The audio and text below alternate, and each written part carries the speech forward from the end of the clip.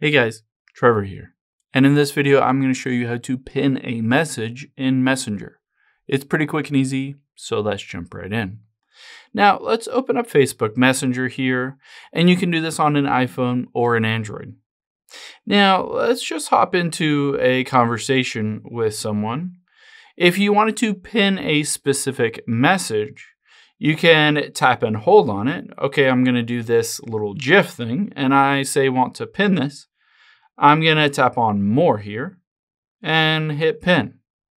Now you'll be able to see that little pin icon there and it says it's pinned. Now at the very bottom it says you pinned a message. I can always hit see all here and I'll be able to see every single message that I pinned in this conversation.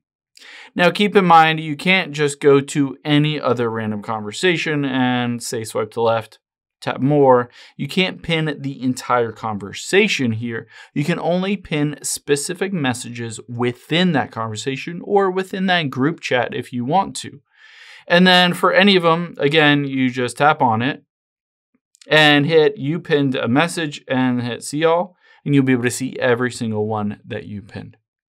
I hope this helps. If it did, hit the subscribe button down below. It really helps me out. And I'll catch you on the next one.